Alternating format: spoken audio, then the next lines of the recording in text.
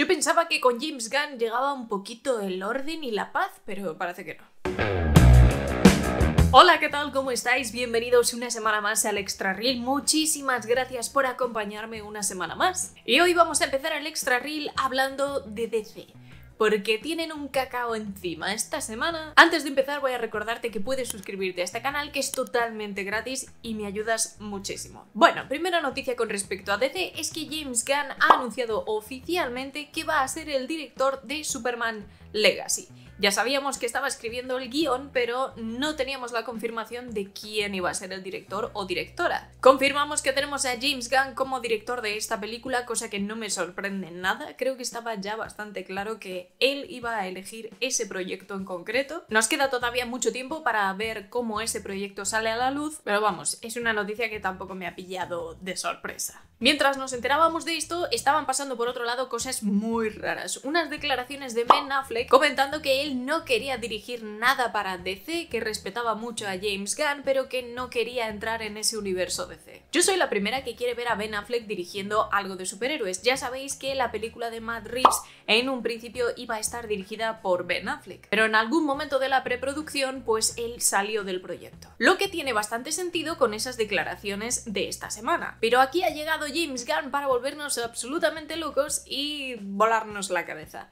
James Gunn ha dicho que ha estado en conversaciones con Ben Affleck y que el mismo Ben Affleck le ha comentado que quería dirigir y que estaban empezando a buscar el proyecto que más se adecue a Ben Affleck. Y entonces, ¿qué hago? Paco, ¿me mato? ¿A quién creo? ¿A mamá o a papá? Porque aquí, evidentemente, alguien se está quedando con nosotros. O Ben Affleck miente o James Gunn tiene mucha cara. Una de dos. Yo qué sé, hagan sus apuestas. Y por si eso te parece poco, esta semana hemos tenido también otro personaje de DC que mm, ha abierto la boca y ha subido el pan, que ha sido Zack Snyder. Zack Snyder ha hecho una publicación en la que ha anunciado que tiene algo que decirnos en esa conferencia de finales del mes de abril, durante un fin de semana, creo que empieza el 28 de abril, si no me equivoco, un mensaje que al parecer viene de parte de Lord Darkseid. Me parecería muy arriesgado que tuviéramos el anuncio de que el universo de Zack Snyder sigue adelante James Gunn últimamente tiene la lengua muy suelta, entonces yo creo que nos habría dicho algo, ¿no? No sé, es todo como muy raro. Es verdad que en redes se ha estado suplicando por la vuelta de Zack Snyder con los superhéroes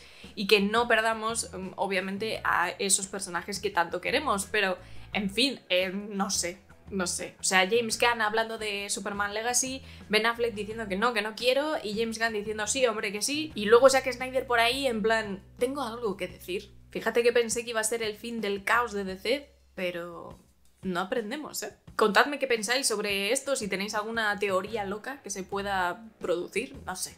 En otro orden de cosas ya tenemos un nuevo integrante del elenco de la nueva película de Gladiator 2, esta secuela que creo totalmente innecesaria y que me va a dar mucha pena que llegue a ver la luz. Tenemos una nueva incorporación al reparto que sería Barry Keoghan. No es una incorporación nada mala, es un gran actor, todo hay que decirlo, pero sinceramente este proyecto de Gladiator 2 no sé muy bien a dónde quiere llegar, si quieren estar por lo menos al nivel de su predecesora, van a tener mucho trabajo, ¿eh? Y ahora os voy a hablar de Guillermo del Toro, que está que lo tira. No solamente por acabar de ganar un Oscar por su película de animación Pinocho, sino que tiene el punto de mira puesto en hacer su propia versión de Frankenstein. Todo un notición sin duda, pero es que si le añadimos los actores y actrices con los que está hablando para este posible proyecto, ya te caes. Oscar Isaac, Andrew Garfield y Mia Goth son tres de los actores que posiblemente estarían en conversaciones con Guillermo del Toro para este nuevo proyecto que sería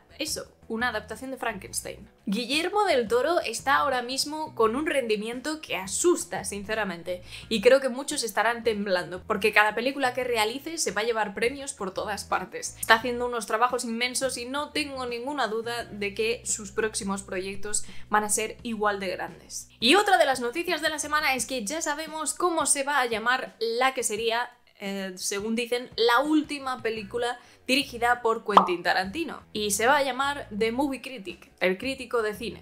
No sé muy bien cuál va a ser el trato de esta figura de la prensa especializada, entre los que me incluyo, pero bueno, veremos qué es lo que quiere hacer. También se ha iniciado un debate con el tema de que si se va a retirar, si no, que es muy joven para retirarse. Retirarse no se va a retirar Otra cosa es que esta pueda ser posiblemente su última película como director, pero ya sabemos que uno de los mayores talentos de Tarantino es escribir, y yo creo que eso lo va a seguir haciendo hasta su último día. Así que podemos esperar verle, yo que sé, produciendo o escribiendo guiones para otros directores o haciendo series, miniseries, no lo sé. Ya veremos cuál es el futuro, pero desde luego retirarse, yo creo que no. Como director puede, pero este tipo de artistas que tienen la cabeza tan inquieta, me resulta imposible pensar que se vaya a retirar. Y voy a acabar el extra reel de esta semana hablando del nuevo tráiler oficial de La Sirenita.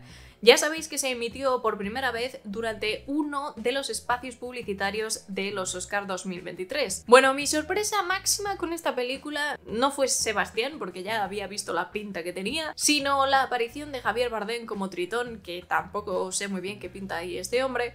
Entiendo que, claro, el director al estar relacionado con la saga de Piratas del Caribe, pues bueno, hay cierta relación profesional, lo puedo entender. Cada vez hay más cosas de esta película que no me gustan.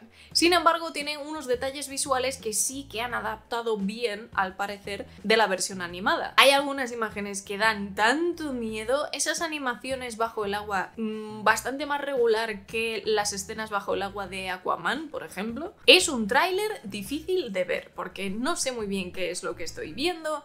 Hay algunas cosas que sí convencen, otras que no. Casi habría visto un poco más lógico hacer una versión de la sirenita bastante más siniestra que adaptar literalmente la versión animada de Disney. No sé, yo sigo sin verlo, no sé qué pensáis vosotros sobre este tráiler oficial, pero uff, no ha cambiado mi parecer, salvo en algunos momentos que sí que creo que hay un buen trabajo de efectos visuales y demás, pero más en la acción real que en los momentos bajo el agua que son no sé, yo sigo teniendo la opinión de que esta película va a ser un pero bueno, ojalá me sorprendan. Quiero sorprenderme. No tengo mucha fe. Como siempre, os voy a dar todo mi ánimo y mi cariño para que empecéis la semana con muchísima fuerza. Aquí en España el lunes es festivo, vais a tener el vídeo de crítica de John Wick 4, os recomiendo que estéis ahí para verlo. Y el resto de vídeos de la semana serán Tini Tina el miércoles y 65 el mismo viernes, día 24, que es cuando se estrena. Os voy a dejar por aquí algún vídeo que puede que os interese y ya sabéis que nos vamos a ver dentro de muy poquito.